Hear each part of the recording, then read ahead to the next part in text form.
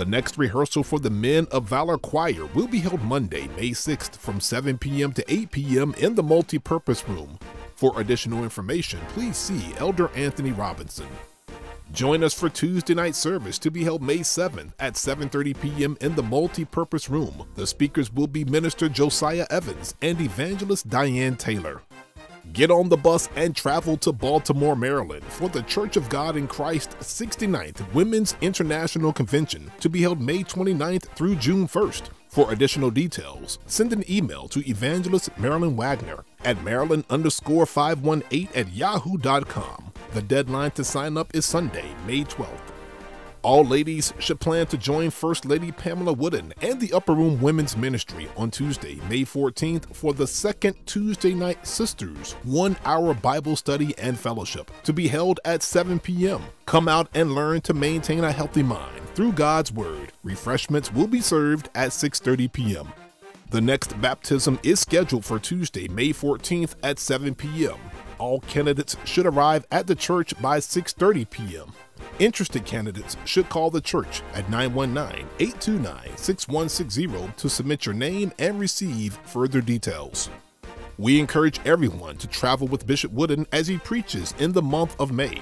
Tonight at 6 p.m., he will preach for Pastor James D. Parker at Pillar and Ground of Truth Church of God in Christ. The church is located at 950 Mack Todd Road in Zebulon. On Wednesday, May 15th at 7:30 p.m., he will be the evening speaker for the Greater North Carolina Jurisdiction Mission to Men Conference to be held at Victorious Praise Fellowship Church of God in Christ. The church is located at 2116 Page Road in Durham. Finally, he will be the guest speaker for Pastor Michael White's 8th pastoral anniversary to be held Sunday, May 19th at 6 p.m. at New Beginnings Christian Fellowship Church of God in Christ. The church is located at 1759 Fairway Road in Asheboro, and bus transportation is available. To secure your seat, email Evangelist Marilyn Wagner at marilyn underscore 518 at yahoo.com by Thursday, May 16th.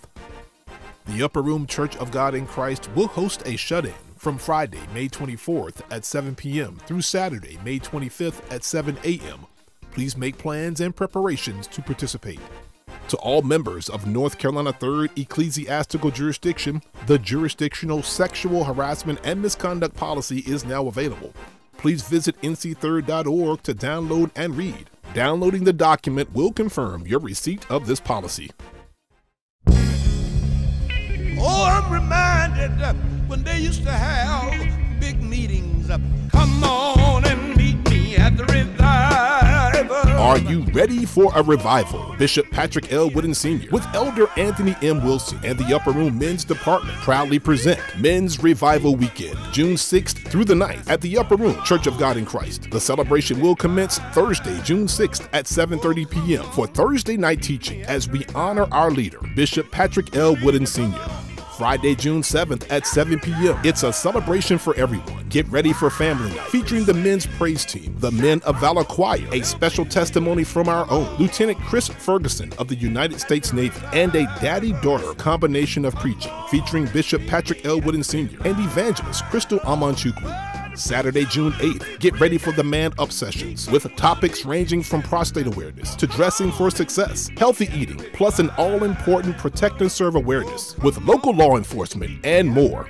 The weekend concludes with the Lord's Day service, Sunday, June 9th at 11 a.m. Bishop Patrick L. Wooden Sr. will deliver a powerful message guaranteed to accentuate the entire event. You want to be at the Men's Revival Weekend. Seek the Lord. Men ignited by the vision, June 6th through the 9th at the Upper Room Church of God in Christ, 3300 Idlewood Village Drive in Raleigh. Upper Room, we are pleased to recognize and celebrate the accomplishments and future plans of our graduating high school seniors. Please hold your applause until all names have been read. Isaiah Nwasi is graduating from Garner Magnet High School. His post high school plans include attending Wake Technical College and enlisting in the United States Army Reserve. Sienna Falk is graduating from Friendship Christian School. After graduation, she will attend the University of North Carolina at Charlotte and major in nursing. Kenya Lester is graduating from North Raleigh Christian Academy. She has received the Merit Scholarship and will attend North Carolina A&T State University to study nursing in the Honors Program, which requires a 3.75 GPA and a minimum 1230 SAT score. Dynasty McCoy is graduating from Heritage High School. Upon graduation, she will attend college and major in business administration. Emerald McNeil will graduate from Leesville Road High School. She has received the Presidential Scholarship and has also been accepted at Campbell University and Wingate University. She will major in pharmacy with plans to earn a Doctor of Pharmacy degree. Leslie Nail is graduating from the North Carolina School of Science and Mathematics.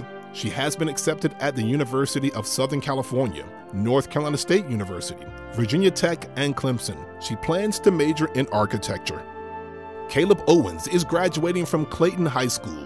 Upon graduation, he will attend Army Office Candidate School along with flight school, pursuing a dual career in engineering and becoming a pilot.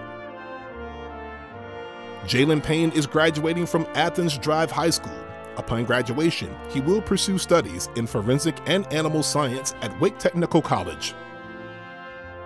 Kendra Randall is graduating from Wakefield High School she has been accepted at the University of North Carolina at Charlotte, High Point University, and the University of North Carolina at Chapel Hill.